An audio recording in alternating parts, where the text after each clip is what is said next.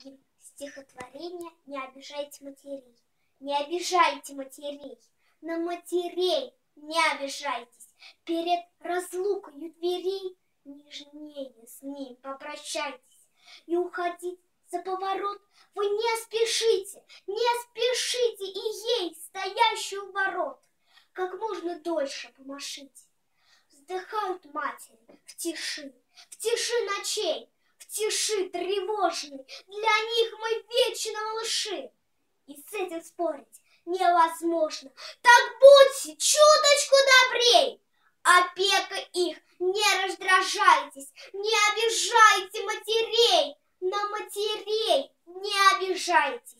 Они страдают от разлук, и нам в дороге беспредельной, без материнских, добрых рук, как малышам без колыбельной. Пишите письма им скорей, и слов высоких не стесняйтесь, не обижайте матерей, на матерей не обижайтесь.